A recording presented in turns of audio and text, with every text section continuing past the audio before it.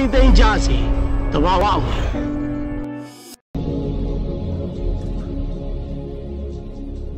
စင်စက်မပြတ်ဖွံ့ဖြိုးရေးနဲ့တဘာဝပတ်ဝန်းကျင်သောရရှင်ဓမ္မမိတ်ဆွေပေါင်းတို့ခင်ဗျာအပတ်စဉ်နဲ့တင်ဆက်ပေးနေကြထိမ့်သိမ့်ကြစီတဘာဝအမွေဆိုတဲ့ခန္ဓာလေးရောက်ရှိလို့လာခဲ့ပြန်ပါပြီ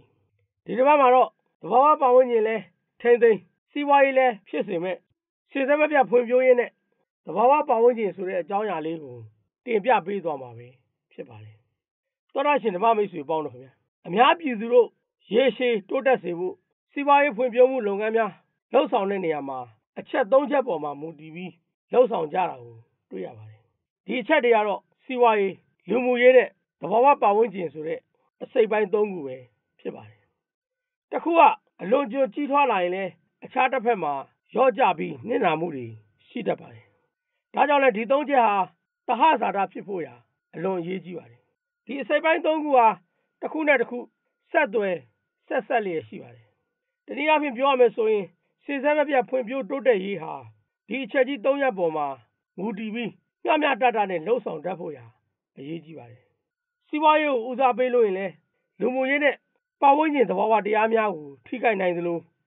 လူမှုရေးကိုဦးစားပေးလို့ရင်လည်းစီးပွားရေးနဲ့ပတ်ဝန်းကျင်ကိုထိခိုက်နိုင်ပါတယ် ထို့အတူပတ်ဝန်းကျင်ကိုအရန်အလေးပေးဦးစားပေးမိခဲ့ရင်လည်းစီးပွားရေးနဲ့လူမှုရေးတို့မှာ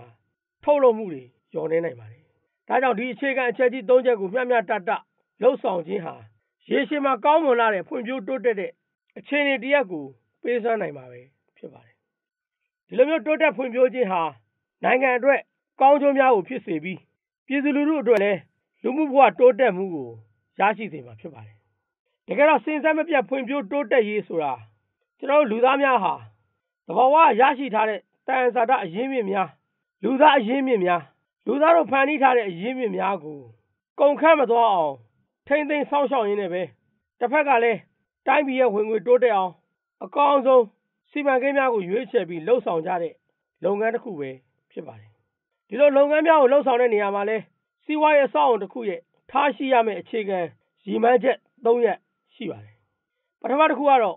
ကုန်စည်နဲ့ဝန်ဆောင်မှုတွေထုတ်လုပ်တဲ့နေရာမှာအရေးအတွက်ရောအရေးအသွေးပါဖွံ့ဖြိုးတိုးတက်လာဖို့ပဲဖြစ်ပါတယ်အဒုတိယတစ်ချက်ကတော့ပြည်သူတွေရဲ့အခြေခံလိုအပ်ချက်ကိုဖြည့်ဆည်းပေးပြီးဆင်းရဲနွမ်းပါးမှုကိုလျှော့ချဖို့ပဲဖြစ်ပါတယ်ဒီအချက်ကလည်းအရေးကြီးပါတယ်အဲနောက်တစ်ချက်ကတော့ဘယ်အရာပဲဖြစ်ဖြစ်မျှမျှတတနဲ့ဘက်မလိုက်ဖဲနဲ့ဆောင်ရွက်တတ်ဖို့ပဲဖြစ်ပါတယ်ဒီအချက်သုံးချက်ဟာရေရှည်စီးပွားဖွံ့ဖြိုးတိုးတက်ဖို့ရာ အဓိကကျတဲ့အချက်တွေပဲဖြစ်ပါတယ်သောတာရှင်ဓမ္မမိတ်ဆွေများခင်ဗျာတကယ်တော့ဒီလိုမျိုးစင်ဆက်မပြတ်ဖွံ့ဖြိုးတိုးတက်ရေးနဲ့သဘာဝပတ်ဝန်းကျင်ဆိုတဲ့အချက်တွေဟာတရားမျှတမှုနဲ့ညီမျှမှုတွေပေါ်မှာပဲအခြေခံထားတာဖြစ်ပါတယ်ဒီလိုမျိုးစင်ဆက်မပြတ်ဖွံ့ဖြိုးတိုးတက်မှုလမ်းကြောင်းကာလကြာရှည်စွာတည်တဲ့ခိုင်မြဲဖို့ဆိုရင်ဥစ္စာဒနာများစွမ်းအားအင်အားစုများအခွင့်အလမ်းများဒါတွေကိုတရားမျှတစွာနဲ့ခွဲဝေပေးနိုင်ဖို့ရာလိုအပ်ပါတယ် နိုင်ငံသားတိုင်းဟာအန္တရာယ်ကင်းရှင်းနိုင်မှုအခြေခံအခွင့်အရေးများရရှိဖို့ရာအရေးကြီးပါတယ်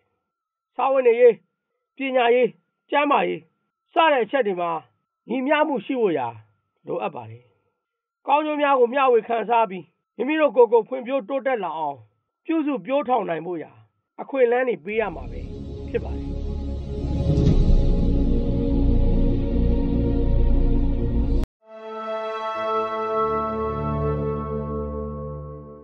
Radio Veritas Asia Myanmar Service